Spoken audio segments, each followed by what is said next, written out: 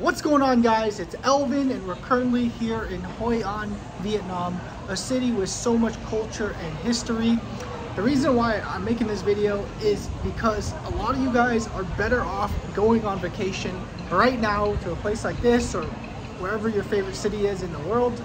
You're much better off doing that than sitting in your computer this summer and over trading. There's gonna be a lot of chop this summer because you know, that's just, it's summer it's summer, so a lot of traders, they're gonna go on vacation and usually after the Bitcoin halving, there's a little bit of chop for about a month and then the action starts, right? Then the boys are ready to go into battle. So this summer, don't trade your, out trade yourself and then lose all your capital and miss the big run up. The opportunity cost is too high right now for you to make a mistake this summer. So just chill, I mean, if you're not looking at crypto every single day, if you're not paying attention to this stuff full time, then just chill. Just add, add more, add more, add more what you can, and just let it be. Go on vacation, do something, go outside.